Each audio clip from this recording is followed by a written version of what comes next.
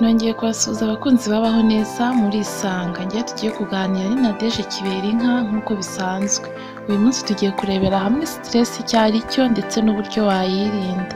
Abantu benshi bakunze kugira ikibazo cya stress ariko nimuhumure tugiye kurebera hamwe uko wayirinda mu buzima bwawe.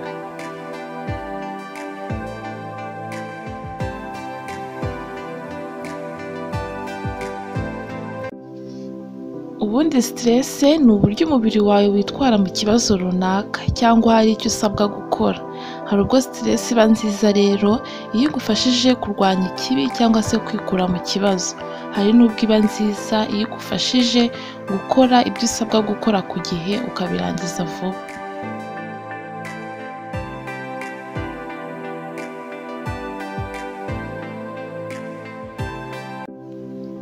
Ariko nanone stress ijya iba mbi iyo imaze igihe kirekire ishobora kwangiza ubuzima bwawe.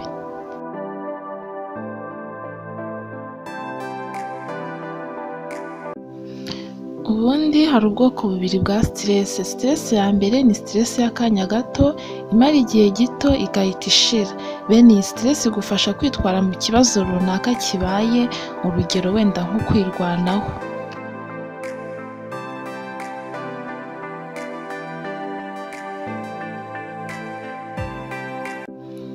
Iyi stress y'akanya gato hari n'ubwiza uri gukora ikintu bwa mbere utakizi ukumva ugize stress ikaza ariko igashira. Hari n'ubwo ishobora kuza utangaye waba utangajwe n'icyiza cyangwa se ikibi. Abantu bose bajya bagira bene iyi stress y'akanya gatoya.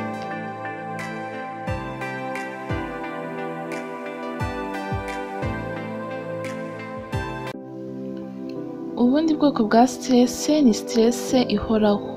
Iyi stress imara igihe kirekire ushobora kugira stress y'igihe kirekire. Iyo ufite ibibazo by'amafaranga urushako rutaraguhiriye cyangwa se ibibazo byo ku kazi ku buryo iyo stress ushobora kuyimarana igihe kirekire.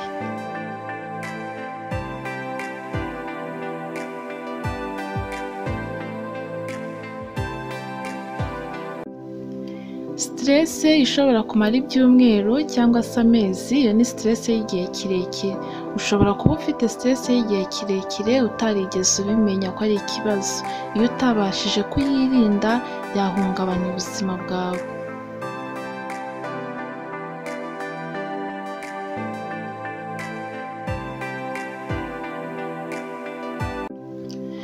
Ubundi stress ituma umuvuduko w'amaraso wiyongera umutima wawe ugatera cyane ugahumeka vuba vuba igogora ryawe rigakora gakeya cyangwa se rikagenda gahoro ubudahangarwa bw'umubiri wawe nabwo bukagabanuka.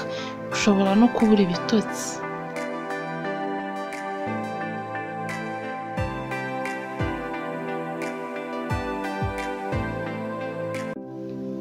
Ubundi iyo ugize stress umubiri wawe usohora imisemburo ya stress iyo misemburo niyo ituma ubwonko bukora cyane umutima ugatera cyane umuvuduko w'amaraso ukiyongera. Iyo ari stress y'igihe gito iyi misemburo igufasha kwirwanaho ukava mu kibazo. Ubu ngubu ni uburyo umubiri wawe wirwanaho ngo wirinde.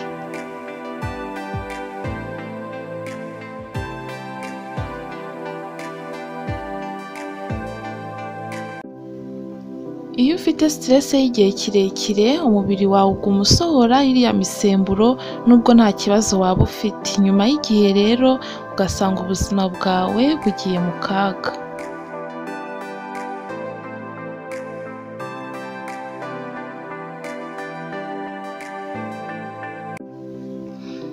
Iyi stress y'igihe kirekire izagutera ibibazo birimo kugira umuvuduko w'amaraso uri hejuru indwara z'umutima diyabete umubyibuho ukabije agahinda gakabije no kwiheba ndetse n'indwara z'uruhu.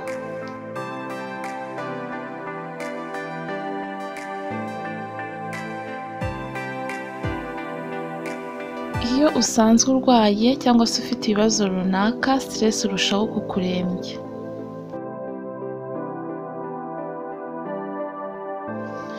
Ikintu cya mbere wakora kugira ngo wirinde siterese ni ugukora siporo. Buriya siporo byagaragaye yuko ifasha intekerezo z'umuntu guhinduka, bya bindi byari byaguhangayikishije ukabyihorera ukagira ibitekerezo bishyashya.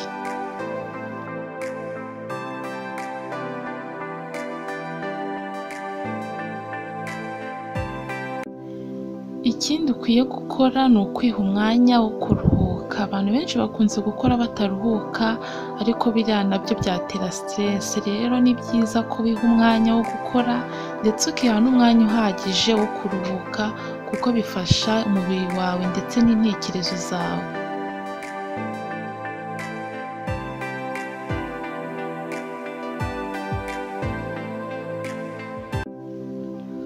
Ikindi rero wakora nanone ni ukuvuga ibyaguhangayikishije cyangwa se ukavuga ibyakubabaje. Aha ngaha ushobora kureba inshuti zawe mukaganira cyangwa se abo mu muryango wawe, abo mwigana, abo mukorana, ibi ngibi bituma wumva utari wenyine kandi ukumva uruhutse.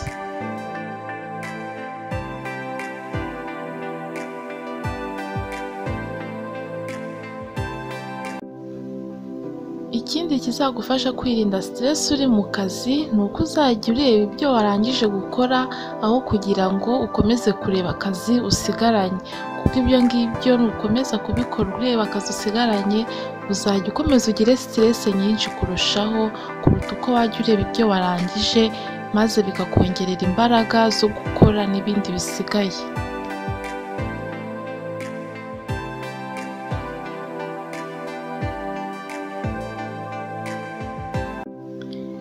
Ikindi nanone ukwiye kwitaho ni ukurya neza. Indyo yuzuye irimo imbuto n'imboga bigufasha kugira ubudahangarwa mu gihe ufite siterese. Indyo ituzuye yatuma uremba mu gihe wagize siterese nk'uko twabibonye ko siterese igabanya ubudahangarwa bw'umubiri wawe.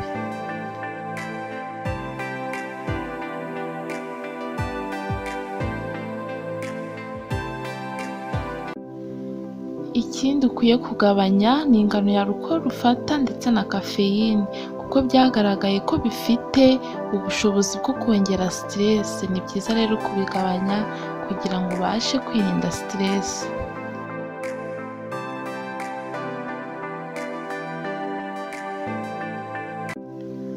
Aha ngaha ni ho dusoreje, mwakoze cyane kubana natwe kandi nizeye yuko mwabonye byinshi byabafasha kwirinda siterese.